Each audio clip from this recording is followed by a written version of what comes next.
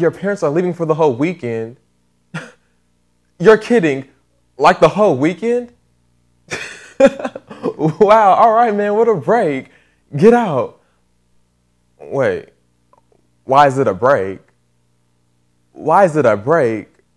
Dude, do you mean I have to tell you? You've just been given two full nights and three fantastic days of total freedom.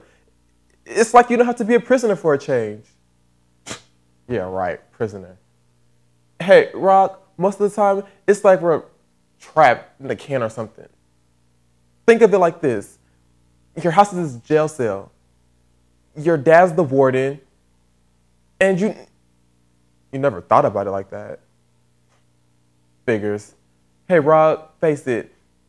It's a damn good thing you got me around so I can let you know what's up on things. You know that. But, anyways, like I was saying, you're trapped in this can. You can't do this, you can't do that. You have to have permission, clearance to do anything. And when you want to do something, it's like you're under the big watchful eyes of the prison guard. You know what I mean? Forget it.